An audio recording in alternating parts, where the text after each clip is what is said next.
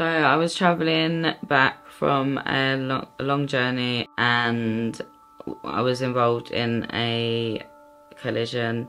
The driver of the vehicle lost control of the vehicle and we uh, hit the central reservation. They had to cut the roof off the vehicle so that took a really long time and it was really extremely painful. Yeah, it was really scary.